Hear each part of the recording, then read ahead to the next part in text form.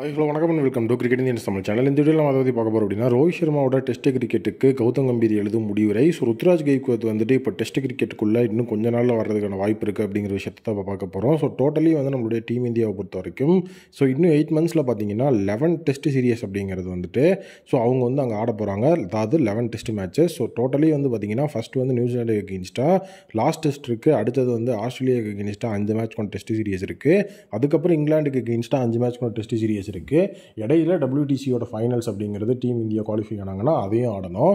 So இப்போ ரெண்டு விஷயம் தான் ஒன்று வந்து பார்த்தீங்கன்னா டபிள்யூடிசியோட ஃபைனல்ஸ் நம்மளுடைய டீம் இந்தியா வின் பண்ணாங்கன்னா பிரச்சனை இல்லை. குவாலிஃபையாக அங்கே வின் பண்ணணும். ஸோ அப்படி வந்து வின் பண்ணிட்டாங்க அப்படின்னா ஒரு பாசிட்டிவ் நோட்டில் கண்டிப்பாக சேஞ்சஸ் நடக்கிறதுக்கு வாய்ப்பு இருக்குது சப்போஸ் அப்படி இல்லை அப்படின்னா ஸோ நம்மளுடைய ஆஸ்திரேலியா சீரியஸ் தான் கடைசி. அதுக்கப்புறம் வந்து டீம் இந்தியாக்குள்ளே நிறைய மாற்றங்கள் நடக்க போகுது அப்படிங்கிறத கம்பீர் இப்போ சொல்லியிருக்கிறாரு. ஃபஸ்ட்டு வந்து பார்த்தீங்கன்னா ருத்ராஜ் கேக்கத்தை தான் அவர் சொல்லியிருக்கிறாரு. ருத்ராஜ் கேக்கத்தை பொறுத்த வரைக்கும் ஃபஸ்ட்டு வந்துட்டு அவர் வந்து ரெட் பால் கிரிக்கெட் அப்படிங்கிறதுக்குள்ளே வந்து பெரிய லெவலில் வந்துட்டு வர்றாரா அப்படின்னு பார்த்தீங்கன்னா டி ட்வெண்ட்டி ஓடிஐ இந்த மாதிரியான விஷயத்துக்குள்ளே தான் அவர் வந்து அதிக கவனம் செலுத்திட்டு இருந்தார். டெஸ்ட்டில் அவர் நம்ம பார்க்குறது ரொம்ப ரேராக தான் இருந்தது. பட் ஆனால் அந்த லாஸ்ட் சிக்ஸ் மந்த்ஸில் பார்த்தீங்கன்னா ஸோ ருத்ராஜ் வந்து ஃபுல் அண்ட் ஃபுல் வந்து பார்த்தீங்கன்னா டெஸ்ட் ஃபார்மேட்டில் நிறைய கவனம் செலுத்தினார்.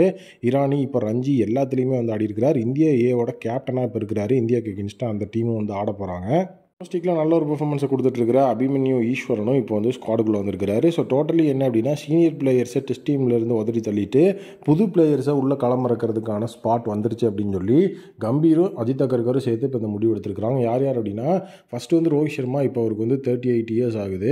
ஸோ அடுத்தது வந்து பார்த்தீங்கன்னா நம்மளுடைய அஸ்வின் ஜடேஜா கேஎல் ராகுல். இந்த நாலு பேருமே டீம்லேருந்து வெளியேறி யங் பிளேயர்ஸை வச்சு ரீப்ளேஸ் பண்ணுறதுக்கான வாய்ப்புகள் அதிகமாக இருக்குன்னு கூறப்படுது. ரோஹித் சர்மாவை பொறுத்த வரைக்கும் ஸோ இப்போ அவரோட டெஸ்ட் ஃபார்ம் அப்படிங்கிறது வந்துட்டு ரொம்பவே வந்துட்டு மோசமாக இருக்குது ஸோ நியூசிலாண்டுக்கு எகென்ஸ்டாக தலைவன் வந்துட்டு இன்னும் ஒரு பெரிய செஞ்சுரி கூட இன்னும் போடவே இல்லை. ஸோ அது மட்டும் இல்லாமல் இன்னொரு முக்கியமான விஷயம் என்ன அப்படின்னா ஸோ ஆஸ்திரேலியாவுக்கு எகென்ஸ்டாக அஞ்சு மேட்ச் கொண்ட டெஸ்ட் சீரியஸில் ரெண்டு ஸ்ட்ரைக்கும் வந்துட்டு அவர் இருக்கவும் மாட்டார். ரெண்டு டெஸ்ட்டில் இருக்க மாட்டார்.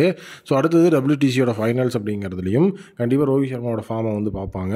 ஸோ ரோஹித் சர்மாவோட ஏஜ் ஃபேக்டர் அவருடைய ஃபார்ம் டவுன்ஃபாலில் இருந்தது தான் அதையும் காரணம் காட்டி ஸோ அந்த இடத்துல வந்து ரோஹித் சர்மா ஒரு இடத்துல ருத்ராஜ் கேக்கத்தை கொண்டு வர்றது தான் இப்போ கௌதம் கம்பீரோட பிளானாக இருக்குது கேப்டன்சி அப்படிங்கிறது கண்டிப்பாக மாறும். ஸோ அந்த கேப்டன்சி பேட்டன் அப்படிங்கிறது இந்த ஆஸ்திரேலியா சீரியஸில் வந்து பார்த்தீங்கன்னா ஸோ நம்மளுடைய பும்ரா தான் வந்து கேப்டனாக இருக்க போகிறாரு ஸோ ஃபியூச்சரிஸ்டிக் அப்படிங்கிறது யோசிக்கும் போது ஸோ ஒருவேளை பும்ராக்கே வந்துட்டு கொடுக்கறதுக்கான வாய்ப்பு இருக்கா அப்படிங்கிறதும் இந்த இடத்துல நிறைய பேர் வந்து பேசிகிட்டு இருக்காங்க. யங் பிளேயர்ஸை பொறுத்த வரைக்கும் இப்போதைக்கு வந்து பார்த்தீங்கன்னா ஸோ ரெண்டு ஸ்பாட் கேஎல் ராகுல் அண்ட் வந்து ருத்ராஜ் கெய்க்வத் அப்படின்னு பேட்ஸ்மேன்ஸோட ஸ்பாட் இருக்குது அபிமன்யு ஈஸ்வரன் ருத்ராஜ் கெய்க்வத் அப்படின்னு வச்சு நம்ம வந்து உள்ளே கொண்டு வந்துட்டா கூட. அடுத்தது அஸ்வின் அண்ட் ஜடேஜாவுக்கு ரீப்ளேஸ்மெண்ட் கரெக்டாக எடுத்துட்டாங்களா? ஸோ அது எங்கேயாவது வந்து அங்கே வந்து இருக்கா அப்படின்னு வந்து பார்த்தீங்கன்னா ஸ்டில் வந்து அஸ்வின் ஜடேஜாவோட எக்ஸ்பீரியன்ஸுக்கு ஈக்குவல் ஆகிற மாதிரி எந்த ஒரு பிளேயரையும் நம்ம இன்னும் பார்க்கல.